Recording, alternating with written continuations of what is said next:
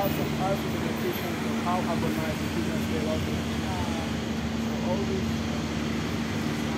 substances.